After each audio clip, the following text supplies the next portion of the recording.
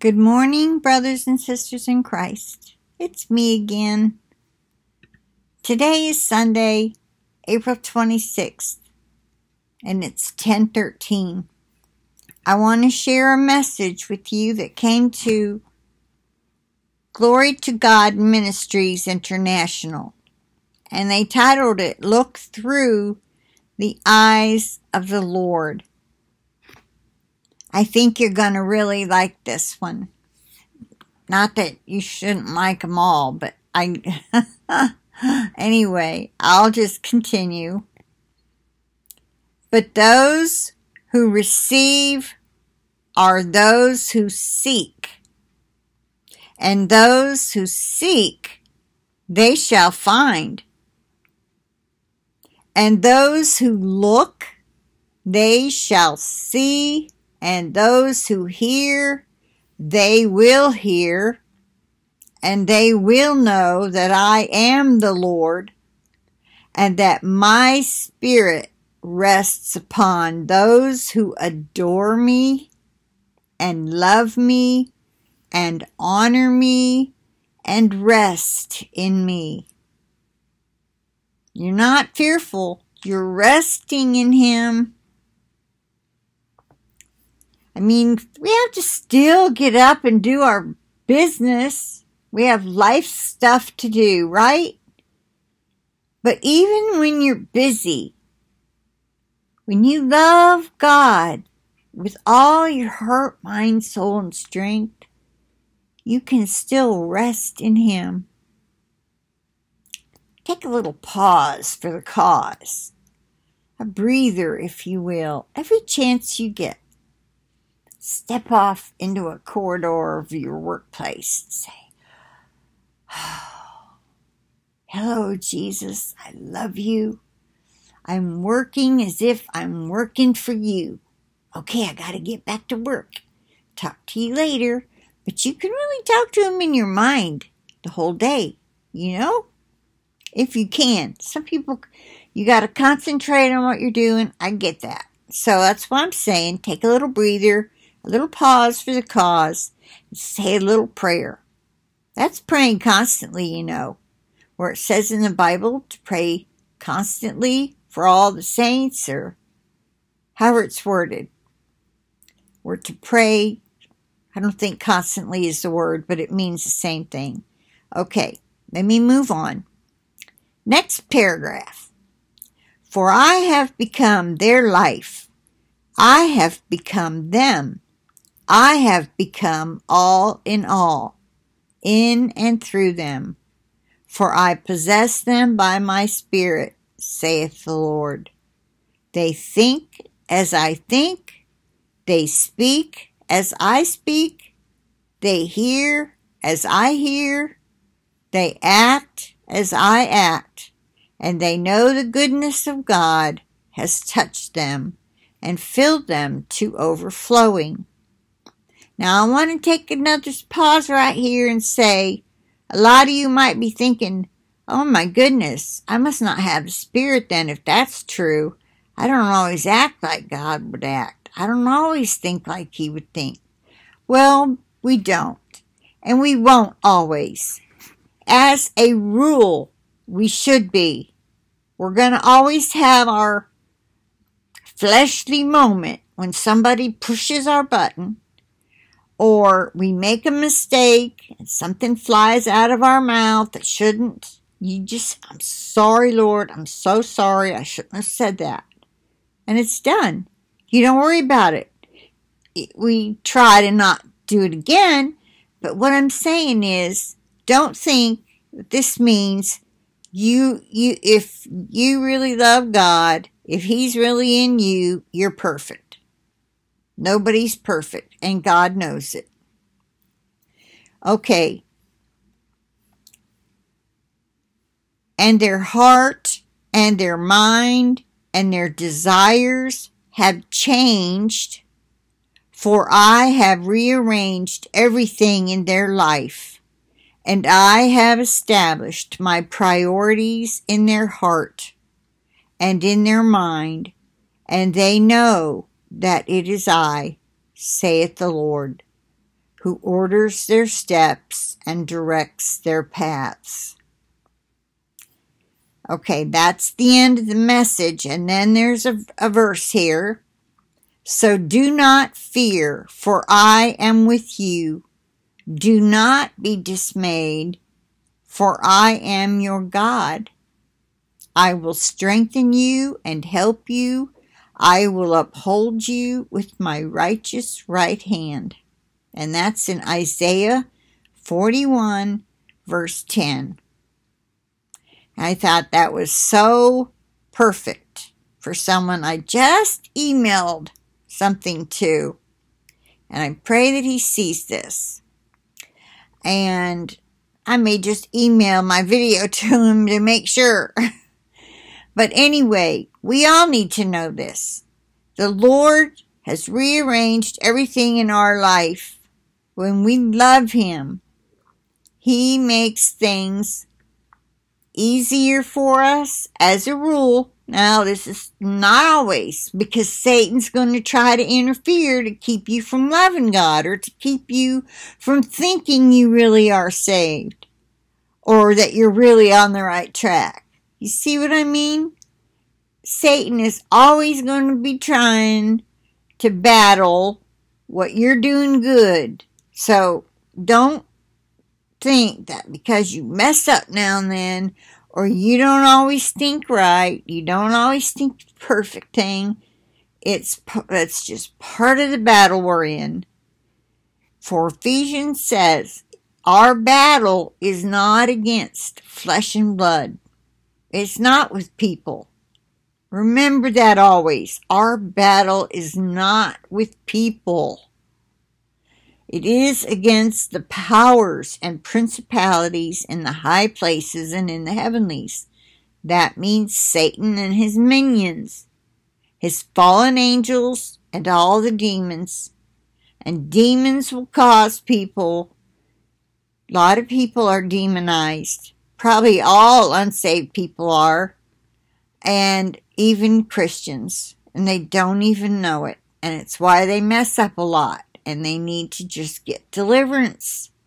Which is why when people talk to me or email me about a problem they keep having, or I may see it in comments, I tell them go to Derek Prince deliverance videos, self deliverance videos.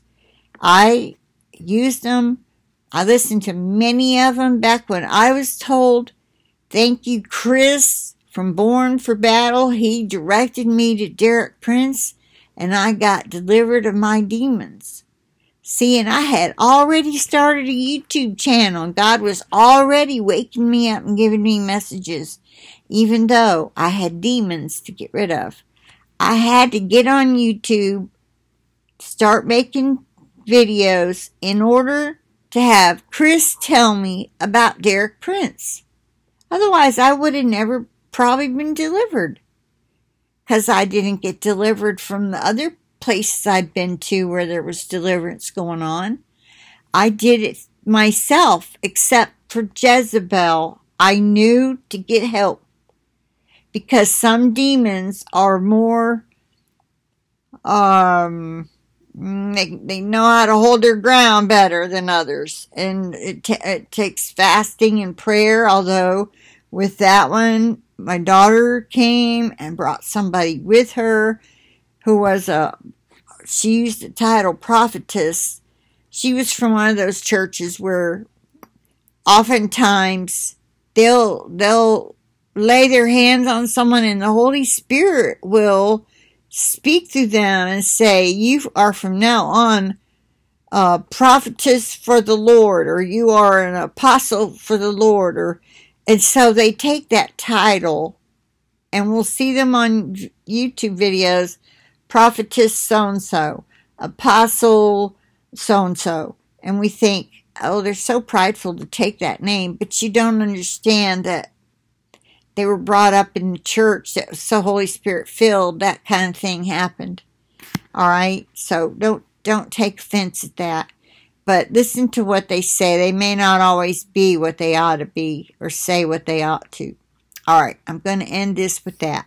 With this, I plead the blood of Jesus over um, this video, myself, my computer, and my Wi Fi connection, and over each and every one of you and all your devices and your connections as well. And hopefully we'll stay together until we're out of here. And I think it's going to be pretty soon, y'all, because things are changing. And I don't believe things will ever go back to exactly the way they were. And I think that we just went through a live exercise. It was probably um, something that they had created to start uh, something contagious that would go, you know, like the common cold. Do you know how contagious a cold is? And guess what causes it? The coronavirus. Okay? So they manipulated it a little bit in labs to make it more like the flu. Anyway, it was not as deadly as they were making it out to be. There was no need to shut down the economy, and there was no need for all the social distancing, but at the same time, it accomplished something. It was a practice run. It got us all thinking about germs and avoiding people and what have you. I just hope that our churches get reopened soon some people just don't know about YouTube or think it's all dumb stuff or people just spouting out their opinions and they don't realize that a lot of us are on here really trying to teach the truth. I know I am really trying and I may not always be right. And I know that. I'm human. We all are humans that's why our teacher has to be the Holy Spirit. Anybody who puts out a video that you question or wonder, you think, well, I read that and I didn't get that. You go back to that verse, you study it, you take it to the Lord. All right? Let Him be your teacher. And by the way, let Him be your best friend, will you? Because He really is. Jesus is our Jesus and the Holy Spirit. Being the Holy Spirit is the Spirit of Jesus and God. Okay, you see how that works? They are all connected. So, if you say the Holy Spirit's my best friend or Jesus is my best friend, you're really saying the same thing. Anyway, they're always there to listen. And if you seek and press in, you will get an answer. Yes, you will. You have to want that relationship. This is why Jesus wants you to have a relationship with Him. It's not about just following what He says in the Word. It's not about just accepting Him as your Savior. He wants intimacy with you. He wants a relationship. And that word intimacy doesn't always mean what you think. It means you really, you long to get off work so you can have quiet time alone with Him. You want your Bible study time and nobody to interrupt you because you want that time with the Lord. You see, when you're with, say, your spouse and you want to be intimate in that way, you don't want people interrupting and visiting and knocking on the bedroom door, do you? Well, it's kind of the same thing. You want that time. You should want time with Jesus with no interruptions. That time where it's you and Him, you're praying, you're singing, you're worshiping, praising Him. That's what He wants. He wants an intimate relationship with you. Not where you're just throwing out prayers now and then and reading a you know, a book, chapter of scripture and you feel like you've done your duty for the day and you get the difference, right? It's a real, true love relationship. It's agape love. Yeah, it's a, agape. That's Greek for godly love. I'm going to make sure I'm right on that. Let me pull it up. Because there's different kinds of love. What is agape love? Here, definition. Okay. Agape, Greek, six words to change your life. The ancient Greek. Oh, come on, don't give me a long article. I want a definition.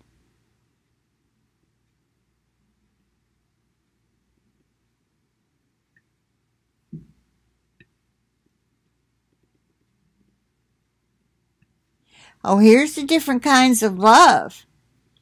Eros is the sexual passion. Philia, or deep friendship. Ludus, or playful love. Agape, or love for everyone. The most radical is agape, or selfless love. This was a love that you extended to all people, whether family members or distant strangers. Agape was later translated into Latin as caritas, which is the origin of the word charity. Okay, this is a, this is like a secular site. Let's go back. It's not mentioning God. What does agape love really mean in the Bible? Okay, let's try that one. Agape is one. Oh, come on, go away. I have to unclick.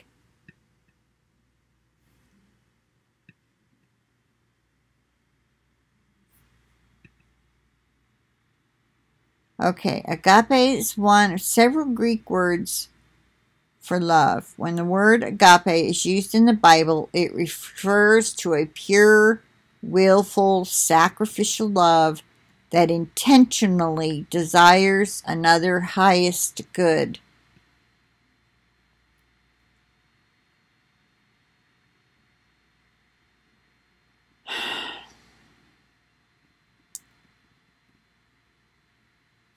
Well, that's not very much more hopeful, helpful. Anyway, I'm going to end this here. It's I'm dragging it out way too long. Y'all have a blessed day or blessed night whenever you see this, and I will talk to you later. Bye for now.